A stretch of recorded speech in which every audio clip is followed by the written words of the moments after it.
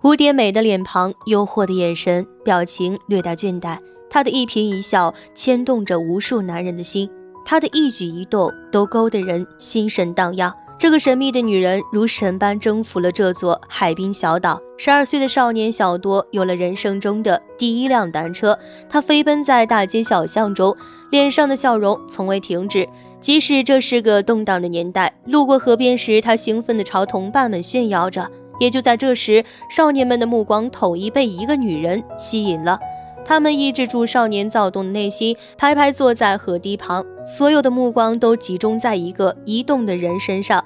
他们窃窃私语，讨论着女人的美貌。小多没有说话，因为他羞耻地发现自己有了生理反应。被大家目光扫射的女人叫马莲娜。身为一个肤白貌美、大长腿的继承者，她每次出门都要经受这样的注视力。好在他早已经习惯面对少年们的讨论，他始终一言不发，甚至连瞥一眼都没有。玛莲娜自顾自地往前走着，少年们则骑着单车，吹着口哨跟在后面。小多也紧随其后。他从同伴口中得知，女人是他们拉丁文老师的女儿。小多还想问多点细节，可同伴们只关心的是玛莲娜的诱人身姿。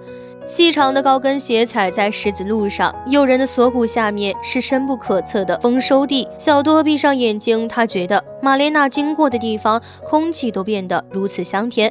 少年们无所事事，他们不遗余力地守候在玛莲娜经过的每个角落，看着玛莲娜的美臀。同伴们无不惋惜地吐槽着：“要是单身就好了。”可惜玛丽莲已经嫁人了。接下来的几天，小多食之无味，睡也不安稳，脑子里总是跳出玛莲娜迷人的身影。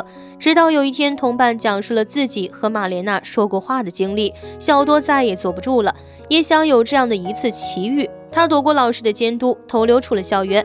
喜欢上一个人的时候，总会有些疯狂的举动，小多也不例外。他骑车飞奔到玛莲娜的家门口。夏日清爽的风吹过，小多看着玛丽莲家周围的细细建筑。忽然，房门打开，一身粉色连衣裙的玛莲娜朝小多挥手，示意他过来帮自己买包烟。小多有些不敢置信，直到玛莲娜再次挥手，他才徒步前行。女神朝他伸出手臂，那一刻，小多慌了神。可惜这一切只是少年的异想天开。他坐了半天，也没等到玛莲娜。小多心想，自己怎么看都是毛孩子，只有打扮成熟，才能引起玛莲娜的注意。于是他偷拿了父亲结婚时的西装裤，到裁缝店改了裤脚。这一举动遭到了父亲的一顿爱的教育，并表示只有战争结束后才可以穿西装裤。晚上的时候，小多偷偷的窗户翻下来，虽然没有长裤，但他穿上了西装上衣，整个人显得绅士不少。他提着小夜灯走到了玛莲娜家门口，轻手轻脚的从大树。枝丫爬到了窗户边，从一个小洞里，他看到了心心念念的女神以及照片上的丈夫尼诺。尼诺和玛莲娜刚结婚一个月，便被应召入伍，上了战场，到现在还没回来。小镇上的男人都开着玛莲娜的玩笑，说她这么漂亮，肯定不堪寂寞。小多听到别人这么说自己的女神，心里很不高兴。可他只是个孩子，反驳不过那些大人。每天夜里，他都会跑到玛莲娜窗户旁的小洞，偷窥着玛莲娜的一举一动，看她跟随音乐翩翩起舞，小多也跟着入了迷。第二天，他去音乐商店寻找那首曲目，买了碟子后，就一个人在小屋里听。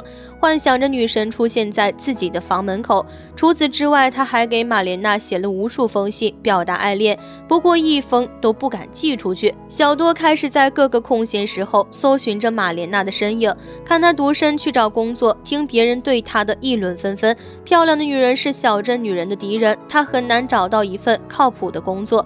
在人潮汹涌的大街上，玛莲娜总是引人注目的那个。小多也注意到了男人们的目光，各式各样的男人，或绅士，或猥琐，或玩味，其中还夹杂着女人们的无情讽刺。有一天，小多跟着玛莲娜，看到她进了一处陌生房门，他内心一下子失落至极。难道已婚的玛莲娜真的有秘密情人吗？小多不敢相信。他骑着跟着玛莲娜。身后不断传来长舌妇的讨论，他们猜测玛莲娜私生活很乱，并将其比作虚伪的贱妇，认为情妇都比他高尚，至少情妇做事光明磊落。小多内心有些受伤，他爬到那处陌生房门的围墙外。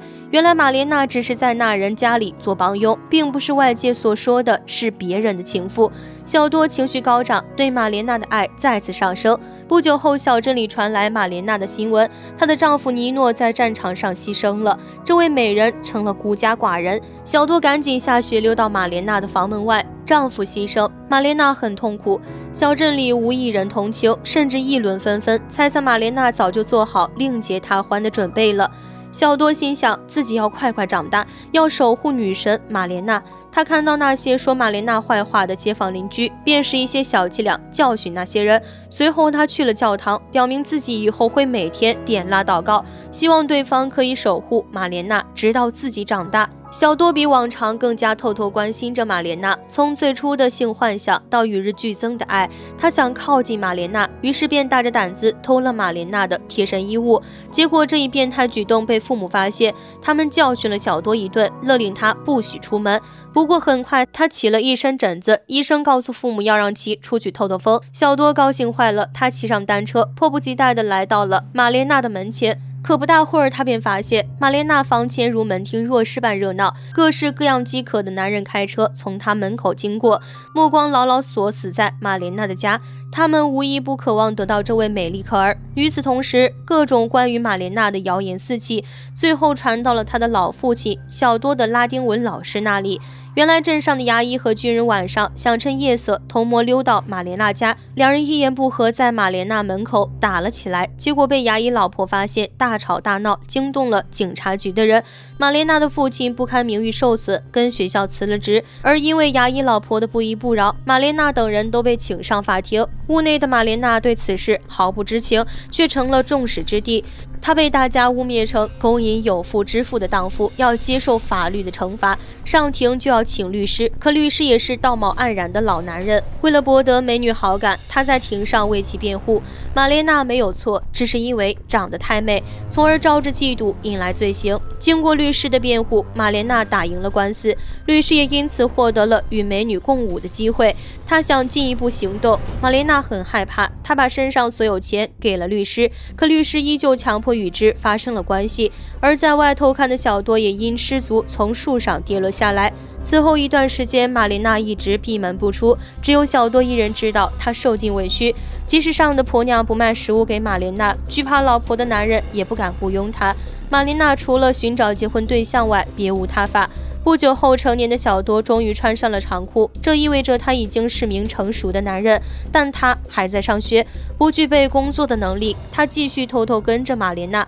看着他为了一口食物赊账，而别人却不怀好意的摸他脖颈。而后没两天，敌人的炮弹落在了这座小镇，玛莲娜的父亲不幸丧生，这里终究只剩下孤独的玛莲娜。而随着她丈夫和父亲的接连去世，小镇上的男人更加肆无忌惮了。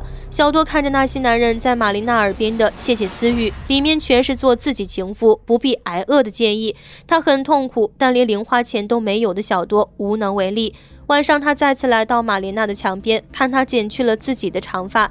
为了活下去，他终究成了那些人口中的自己。小多看着他为了食物和别人缠绵，他哭了，但什么都改变不了。人潮汹涌的广场上，玛莲娜翩然而至，金黄色的卷发，诱人的红唇，黑色丝袜下的高跟鞋碰撞在地面上，她凝视着所有人的目光。那些流言蜚语再也传不到她的耳朵里。玛莲娜随意坐在椅子上，她想抽根烟，完全不用自己点火。那些火机的主人便纷纷上前，殷勤地围在她的身边。玛莲娜有片刻的沉默，她那双眼睛似乎要滴出泪来。终究，他点着了烟。小多幻想着自己救玛莲娜于危难之中，可现实中他只能远远观望。玛莲娜彻底成了人们口中的荡妇，连德国士兵也照样接待。小多接受不了这样的刺激，晕倒在地。家人断定小多是被魔鬼附身，请了一堆法师前来做法念经。小多不为所动，他心里只牵挂着玛莲娜一人。过了一段时间后，战争胜利，人们夹道欢迎着归来的士兵。小多忧心忡忡，他看着街上的妇女冲着玛莲娜家里跑去，他们要替政府好好的惩戒那个荡妇。玛莲娜被扒光衣服，无助地面对着女人们的拳打脚踢，而那些对其献殷勤的男人则无意上前。小多看着口吐鲜血的玛莲娜，捂住了眼睛，他终究没有上前。玛莲娜被人架起，用剪刀剪光了头发，一圈圈人围着玛莲娜，像看热闹般无意上前。玛莲娜痛苦的大叫，在驱赶中逃跑。她负着一身伤，被人驱赶出了小镇。小多看着她上了远方的列车，百般滋味涌上心头。他目送着玛莲娜久久没有离开。此后，小多经常坐在海边，他有一股气藏于心里，始终无法排解。玛莲娜被逼走了，她有什么错呢？唯一的罪名只是因为长得太美。很久之后，玛莲娜的丈夫尼诺回来了，他没有牺牲，只是失去了一个胳膊。他回到家里没有看到妻子，而小镇上的众人则纷纷摇头，表示不知道玛莲娜去了哪里。他们不敢承认是他们逼走了玛莲娜。尼诺四处游走，去警察局寻找妻子，在路边问昔日的小镇居民，可大家对这个残废人只是羞辱。没有一个人告诉他真相。小多看着这个可怜的男人，他不想瞒着尼诺，便写了一封信，告诉了尼诺原委以及玛莲娜乘坐的火车方向。最终，尼诺踏上了寻找妻子的路途。没有了玛莲娜，小镇依旧热闹非凡。小多也找到了自己的女朋友。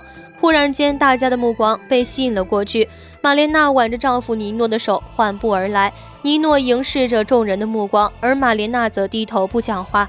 回到这里，他们需要足够的勇气。而小镇上的女人看到玛莲娜有了皱纹、变胖之后，居然一个个没有了之前的力气，开始友好的语气打招呼、说话聊天。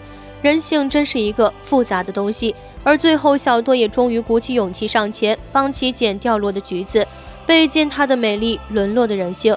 美不是原罪，但在这样的年代和这闭塞的村庄，一切都有可能。这部可以说是无法超越的经典。值得一提的是，导演朱塞佩·托纳多雷只花了三十三天就完成了该片剧本的创作。好了，本部影片到这里就结束了。利用闲暇时光丰富你的精神生活，关注我，只解说百看不厌好电影。我们下期再见。